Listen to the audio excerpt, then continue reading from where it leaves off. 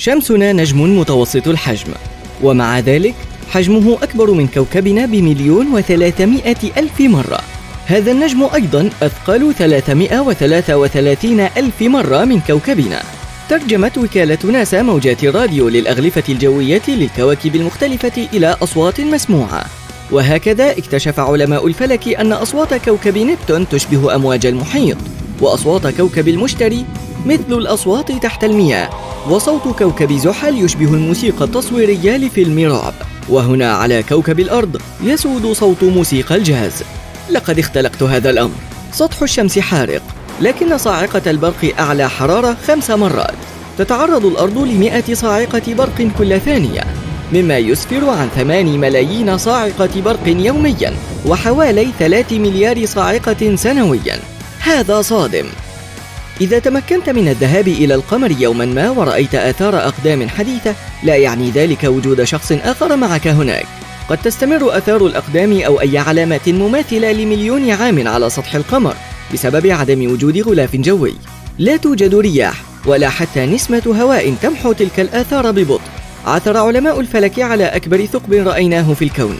إنه الفراغ العملاق الذي يمتد لمليار سنة ضوئية. لقد عثروا عليه بالصدفة. كان أحد أفراد الفريق البحثي يشعر بالملل قليلا فأراد أن يتحقق مما يحدث في اتجاه البقعة الباردة وهي شذوذ في إشعاع الخلفية الكونية الميكرووي وهو عبارة عن وهج خافت من الضوء يسقط على كوكبنا من اتجاهات مختلفة ويملأ الكون. كان يتدفق عبر الفضاء لما يقرب من 14 مليار عام مثل الشفق الذي حدث بعد الانفجار العظيم. والآن تسقط مباشرة في قلب ثقب أسود وتستعد لنهاية حزينة. لكنك لست مضطرا لذلك. السقوط في الثقب الأسود لا يعني تدميرك أو تدمير سفينتك الفضائية بالضرورة. عليك اختيار ثقب أسود أكبر للنجاة. إذا سقطت في ثقب أسود صغير سيكون أفق الحدث ضيقا للغاية. وستزداد الجاذبية كلما سقطت للأسفل. لذا إذا مددت ذراعك للأمام ستكون الجاذبية على أصابعك أقوى بكثير مما على مرفقك. سيجعل ذلك يدك أطول وستشعر بقليل من عدم الارتياح أو كثير من عدم الارتياح لأكون صادقا. ستتغير الأمور إذا سقطت في ثقب أسود فائق الضخامة مثل الموجود في مركز المجرة. سيكون أثقل من الشمس بملايين المرات. سيكون أفق الحدث عريضا. ولا تتغير الجاذبية بسرعة لذا ستشعر بالمقدار نفسه من القوة تقريبا عند عقبيك ورأسك وستتمكن من قطع الطريق كاملا إلى قلب الثقب الأسود. تم كشف حقيقة هذه الخرافة. إذا شاهدت فيلما مؤثرا في الفضاء وبدأت في البكاء لن تسقط دموعك للأسفل بل ستتجمع حول عينيك. ستصبح عيناك جافتين للغاية وستشعر بأنهما تحترقان. سوف تتبخر أي سوائل تخرج من جسدك بما في ذلك سطح لسانك. بالحديث عن الحروق لا يمكن إشعال حرائق أو نيران في الفضاء. تنتشر النيران عندما يتدفق الأكسجين وبسبب عدم وجود أكسجين في الفضاء تعرفون ما سيحدث. بمجرد انفجارها من غير المفترض أن تعود النجوم إلى الحياة. لكن بعض النجوم نجت بشكل ما من انفجار المستعر الأعظم. تلك النجوم الزومبي نادرة جدا. عثر العلماء على نجم كبير منها أطلقوا عليه اسم إلبي 40 365 وهو قزم أبيض محترق جزئيا. القزم الأبيض عبارة عن نجم أحرق كل الهيدروجين الذي كان يمثل في السابق وقوده النووي.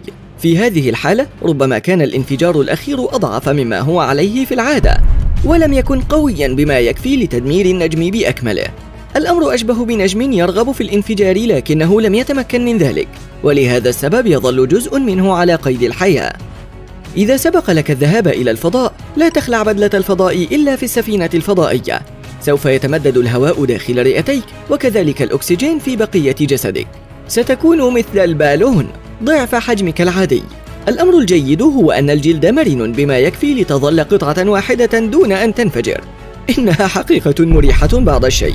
عندما يدخل شيء ما في ثقب أسود سوف يتغير شكله ويتمدد مثل الإسباجيتي.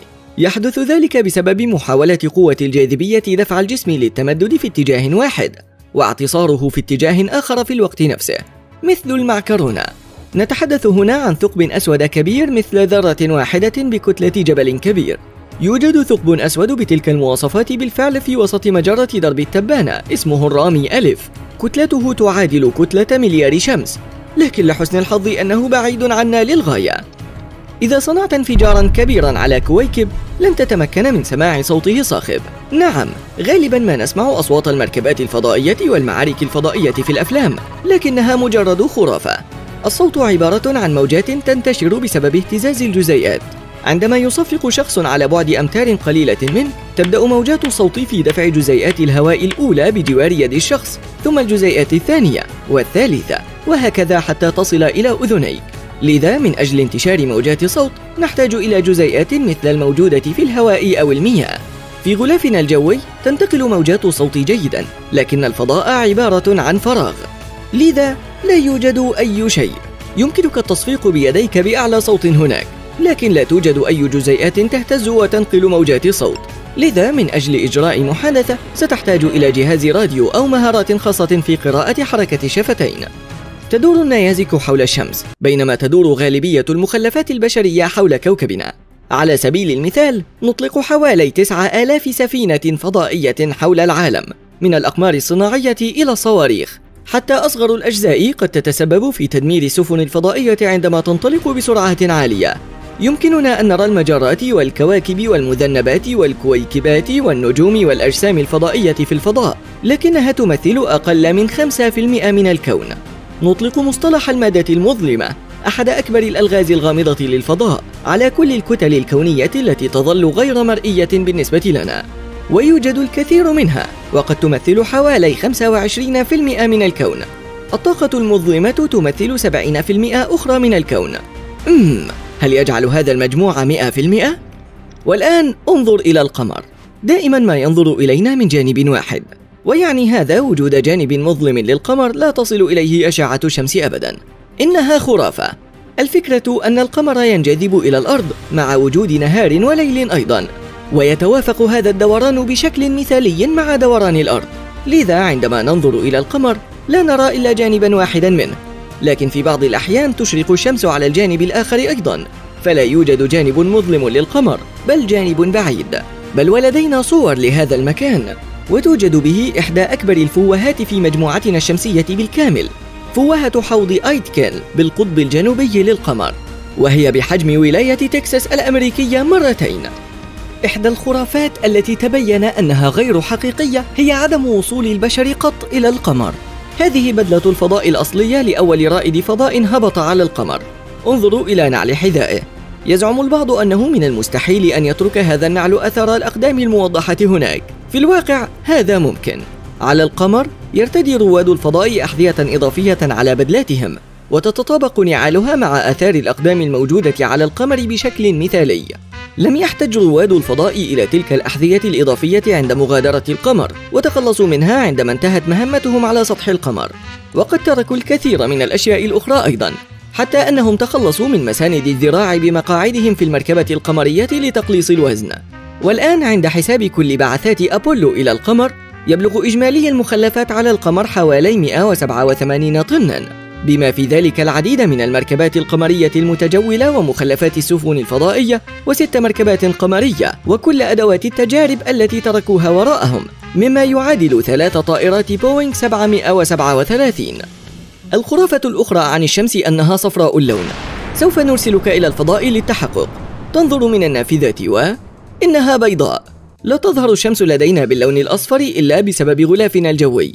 تعمل مكونات الهواء وسمكها على تشوه ضوء النجوم. لكن النجوم مختلفة الألوان بالفعل. تميل النجوم الباردة إلى البرتقالي الساطع والأحمر. وعادة ما تكون نجوما قديمة جدا أقدم من شمسنا.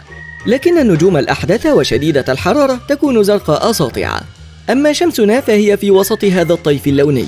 وإليكم خرافة أخرى عن الكويكبات. نحتاج إلى السفر إلى مسافة أبعد قليلا من مدار المريخ. نحن الآن في حزام الكويكبات وعلينا تفادي الصخور العملاقة والكتل الثلجية باستمرار. لقد دخلنا في غيمة كثيفة من الكويكبات. غير صحيح. الحقيقة هي أن الفضاء ضخم وشاسع للغاية والمسافات هائلة. جميع الصخور والكتل الموجودة في حزام الكويكبات لا تمثل سوى 4% من وزن القمر. لذا لا يوجد الكثير منها هناك بالفعل. لفهم أبعاد الفراغ في الفضاء انظر إلى تصادم مجرتين. توجد مليارات النجوم في كل مجرة. إذا خلطناها معا من غير المرجح أن يحدث أي تصادم فيما بينها.